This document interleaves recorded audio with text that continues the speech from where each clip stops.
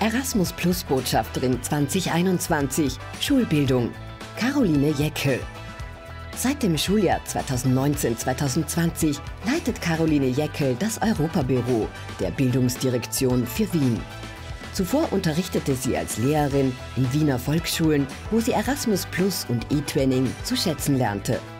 Der internationale Austausch hat ihren persönlichen und beruflichen Werdegang geprägt. Gemeinsam mit ihrem Team hat Caroline Jeckel die Erasmus Plus Empowerment Strategie Enter Europe ins Leben gerufen.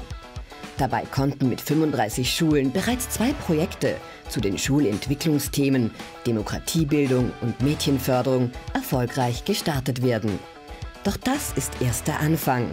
In Zukunft sollen noch mehr Schulen inspiriert werden, selbst Erasmus Plus Projekte durchzuführen und die vielfältigen pädagogischen Möglichkeiten aktiv zu nutzen.